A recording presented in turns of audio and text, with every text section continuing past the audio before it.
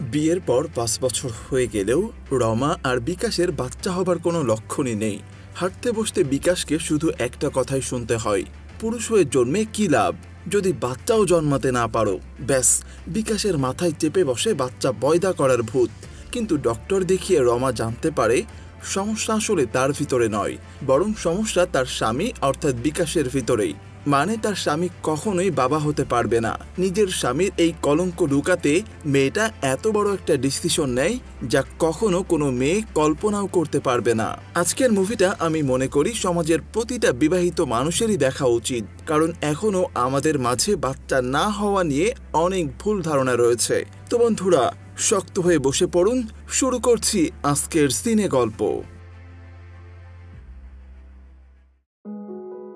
গল্প শুরু হয় একটু বড়দের সিন দেখিয়ে মানে যেখানে একটা গাই গরুকে ষাঁড় গরুর কাছে নিয়ে যাওয়া হচ্ছে। গাই গরুটাকে জোর জবরদস্তি করা হচ্ছে প্রেগনেন্ট করানোর জন্য। গ্রাম অঞ্চলে এসব নিত্যদিনের ব্যাপার। তো যাই হোক, গ্রামের অন্যদিকে রমা আর বিকাশ নামের এক দম্পতির বিয়ের অনুষ্ঠান চলছে। মহা ধুমধামের মধ্য দিয়ে তাদের অনুষ্ঠান শেষ হয়। এদিকে বিকাশ সেই জায়গায় কাজ করে, যেখানে গাই গরুদের ধরে এনে জোর জবরদস্তি করে ষাঁড় গরু দিয়ে প্রেগনেন্ট করা হয়। কি আর করার? এই কামাই দিয়ে সংসার চলে, তাই বেচারা কাজটাও ছেড়ে দিতে পারছে না। যাই হোক, এরপর রমা আর বিকাশের বিয়ের প্রায় পাঁচটা বছর কেটে যায়। একদিন বিকাশের মা তার প্রতিবেশীর সাথে বসেই গল্প করছিল। তখন হঠাৎ ওই মহিলা বলে, পাঁচটা বছর হয়ে গেল, তোমার ছেলে এখনও বাবা হতে পারল না। তার চেয়ে ভালো আমার মেয়েটা বড় হয়েছে। ওর সাথে তোমার ছেলেকে বিয়ে দিয়ে দাও।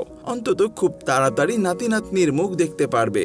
এমন অলক্ষণে বউ ঘরে থাকলে এই জন্মে আর নাতি নাতনির মুখ তোমার দেখা হবে না। বোঝাই যাচ্ছে, বিয়ের পর পাঁচটা বছর পেরিয়ে গেলেও এখনও পর্যন্ত রমা আর বিকাশের ঘরে কোনো সন্তান আসেনি। আশপাশের লোক বিকাশকে অনেকবার ডক্টর দেখাতে বলেছে, কিন্তু বিকাশ কারও কোনো কথাই পাত্তা দেয় না।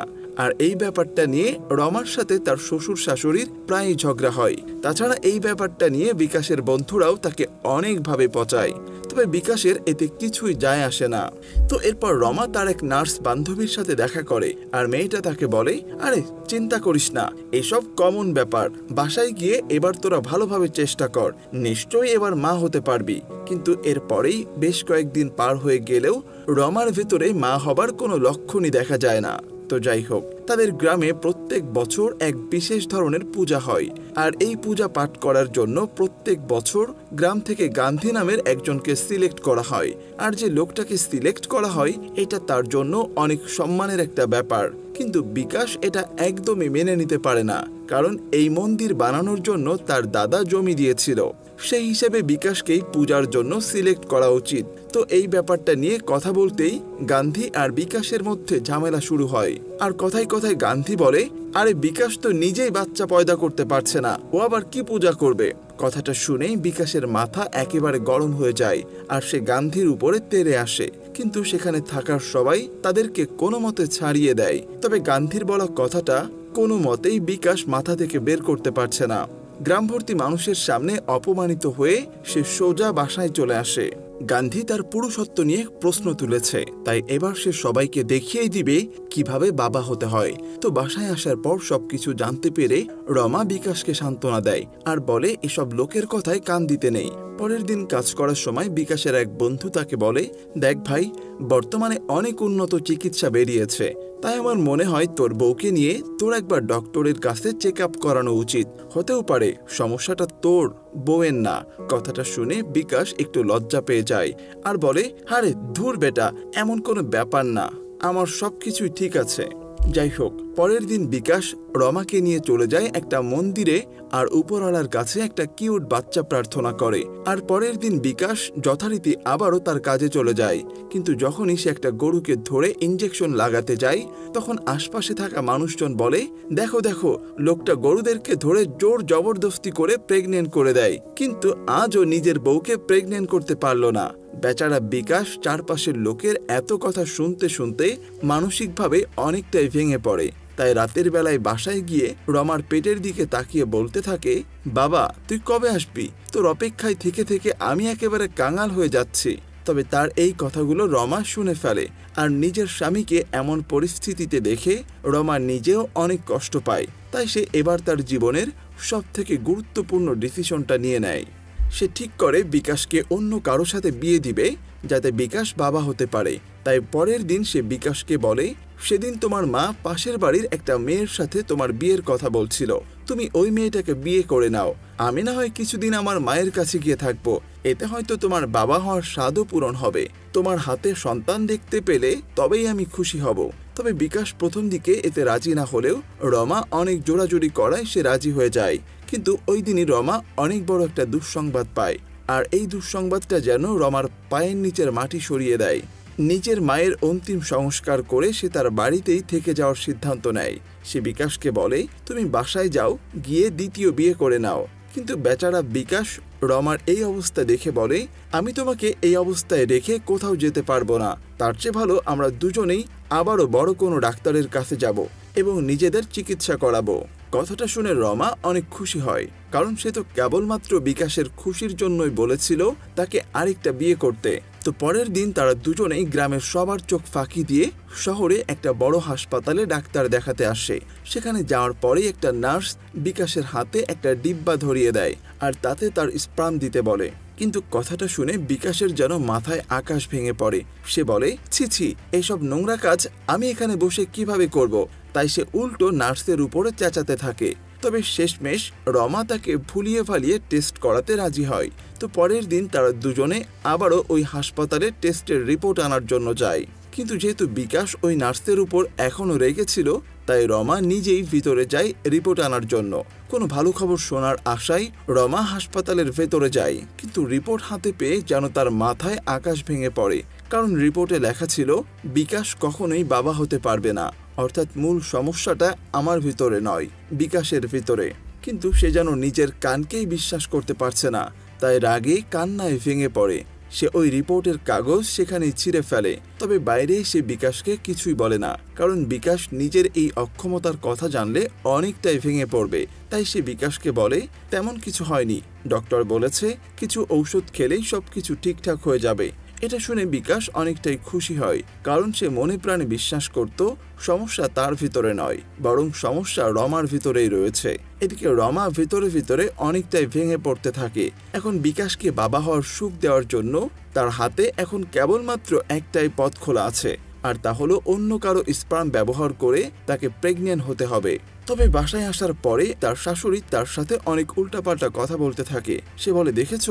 সমস্যাটা আসলে তোমার ভেতরেই। আমার ছেলের মধ্যে কোনো সমস্যা নেই। কিন্তু আজকে রমা তার শাশুড়ির কথা একেবারেই সহ্য করতে পারে না এবং সে তার কথার প্রতিবাদ করে। কিন্তু ব্যাপারটা দেখে বিকাশ এসে রমার উপরে রাগ দেখায় এবং বলে, আমার মায়ের সঙ্গে এমন খারাপ আচরণ কেন করছ?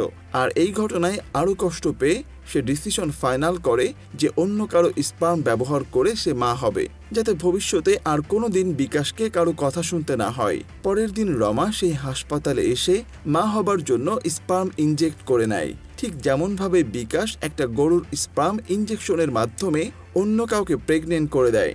তো যাই হোক, এই ঘটনার ঠিক কয়দিন পরেই রমা বমি করতে শুরু করে। আর এটা দেখে এক বুড়ি মহিলা বলে, সবাইকে মিষ্টি খাওয়া বিকাশ, তোর ঘরে সন্তান আসতে চলেছে। আর এর ঠিক কয়েকদিন পরেই বিকাশের ঘর জুড়ে ফুটফুটে একটা ছেলে সন্তান আসে। এরপরেই বিকাশ সমস্ত গ্রামবাসীদেরকে নিজের ছেলেকে দেখায় এবং যারা যারা এতদিন তাকে অপমান করে এসেছে, তাদের সবাইকে উচিত জবাব দিয়ে দেয়। তো এভাবেই দেখতে দেখতে তাদের ছেলের বয়স প্রায় পাঁচ বছর হয়ে যায়। তবে রমা এখনও ভেতরে ভেতরে নিজেকে ক্ষমা করতে পারছে না। সে শুধু ভাবতে থাকে, যেদিন বিকাশ সত্য কথাটা জানতে পারবে, সেদিন তার অবস্থাটা ঠিক কেমন হবে। তাই ভয়ে ভয়ে সে একদিন বিকাশকে সত্য কথাটাই বলে দেয়। সে বলে, ওই দিন রিপোর্ট এসেছিল, সমস্যাটা আমার ভিতরে নয়, বরং তোমার ভিতরে। তাই আমি অন্য উপায়ে প্রেগনেন্ট হওয়ার সিদ্ধান্ত নিয়েছিলাম। কথাটা শুনে বিকাশের পায়ের নিচের মাটি সরে যায়। সে ভাবে, তাহলে এতদিন লোকে যা বলেছে, সেটাই কি সত্য হলো? আমি নিজেই একটা অক্ষম পুরুষ। এতদিন যাকে নিজের ছেলে মনে করে এসেছে, সে আসলে তার ছেলেই নয়। বিকাশ আমাকে বলে, তোমার লজ্জা করল না? এমন একটা জঘন্য কাজ করতে। সারা জীবন আমি এই অক্ষমতা নিয়ে কাটিয়ে দিতে পারব। কিন্তু অন্য কারও সন্তানকে নিজের সন্তান বলে কীভাবে আগলে রাখব? আমি যদি কখনো জানতে পারতাম তুমি এমন কিছু করবে, তাহলে আমি কখনো এসব করতে দিতাম না। সমস্ত গ্রামবাসীর সামনে তুমি আমার মাথা নত করে দিলে। এরপর ধীরে ধীরে নিজের জীবনের চাইতেও প্রিয় ছেলেটাকে বিকাশ আস্তে আস্তে ইগনোর করতে শুরু করে। রাগে, দুঃখে একাকি এক জায়গায় বসে সে নিজের প্রাইভেট পার্টে আঘাত করতে থাকে, কারণ সে তো একটা অক্ষম পুরুষ। কি করবে কিছুই বুঝে উঠতে না পেরে বিকাশ প্রায় পাগলের মতো হয়ে যায়। নিজের স্বামীর এমন অবস্থা দেখে রমা তার শাশুড়িকে সবকিছু বলে দেয়। কিন্তু তখন তার শাশুড়ি তাকে বলে, তুমি চিন্তা করো না, সবকিছু ঠিক হয়ে যাবে। আস্তে আস্তে বিকাশ ঠিক আগের মতো হয়ে যাবে। তার পরের দিন বিকাশ তার ছেলেকে বাজারে খেলনা কিনে দেওয়ার জন্য নিয়ে যায়। কিন্তু ছেলেটাকে বাসায় আনার বদলে সে তাকে বাজারেই ফেলে রেখে আসে, যাতে আর কখনোই তার ছেলের মুখ না দেখতে হয়। কিন্তু ঘরে এসে দেখে তার ছেলে আগে থেকেই বাসায় চলে এসেছে। অর্থাৎ বাজারে দেখতে পেয়ে কেউ একজন তার ছেলেকে বাসায় রেখে গেছে। সবকিছু দেখে রমা বুঝতে পারে হয়তো বিকাশ কখনোই তাদের ছেলেকে আপন করে নিতে পারবে না। তো পরের দিন বিকাশ তার ছেলেকে নিয়ে গোসল করতে যায়। এতদিন নিজের হাতেই বিকাশ তার ছেলেকে গোসল করিয়ে দিত। কিন্তু আজকে তার মাথায় অন্য বুদ্ধি চেপে বসে। নিজের সন্তানের প্রতি এতটাই ঘৃণা চলে আসে যে সে তার ছেলেকে ওই কুয়ার ভিতরে ঠেলে ফেলে দেয়। যেহেতু তার ছেলে সাঁতার জানে না, তাই সেখানে তার মৃত্যু নিশ্চিত হয়। কিন্তু কিছু দূর আসার পরেই তার ভেতরে একটুখানি মানবতা জেগে ওঠে। সে ভাবতে থাকে, এটা আমি কি করলাম? ছেলেটার তো কোনো দোষ নেই, তাই সে দৌড়ে আবার তার ছেলেকে বাঁচানোর জন্য যায়। সবকিছু দেখে রমা বুঝতে পারে, বিকাশ নিজের ছেলেকে পানিতে ছুঁড়ে মারতে চেয়েছে। তবে রমা নিজের ছেলেকে বাঁচানোর জন্য আপ্রাণ চেষ্টা করতে থাকে। আর বিকাশকে বলে, আমার ছেলে থেকে দূরে থাকো, তুমি ওকে মেরে ফেলেছ।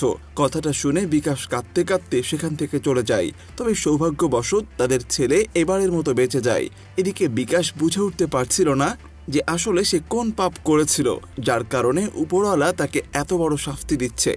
ঠিক তখনই তার চোখ পড়ে গোয়াল ঘরে থাকা গরুর দিকে। গরুটাকে দেখে তার নিজের ভুল সে বুঝতে পারে আর হাত জোর করে বলতে থাকে, আমি আর কখনোই জোর করে গরুকে প্রেগনেন্ট করার কাজ করব না। সে গরুর সাথেই কথা বলতে থাকে। সে বলে, তোমরা হয়তো কথা বলতে পারো না। কিন্তু তোমাদেরও নিজেদের মতো করে বাঁচার অধিকার রয়েছে। আমি জোর করে টাকার বিনিময়ে এতদিন তোমাদের সাথে খারাপ কাজ করেছি। তোমরা সবাই আমাকে মাফ করে দাও। তো যাই হোক, কিছুক্ষণ পরেই বিকাশ বাসায় ফিরে আসে আর রমার কাছে এসে ক্ষমা চাইতে থাকে এবং বলে, আমাকে মাফ করে দাও। আমি তোমাদের সাথে অনেক অন্যায় করেছি। কিন্তু তুমি তো নিজের জীবনটাকেই স্যাক্রিফাইস করে দিয়েছ আমার জন্য। আমাকে একটুখানি খুশি রাখার জন্য তুমি কত বড় সিদ্ধান্ত নিয়ে ফেলেছ। বিকাশের মুখে এমন কথা শুনে রমা অনেক খুশি হয়। পরম আদর আর ভালোবাসায় তারা একে অপরকে আলিঙ্গন করে।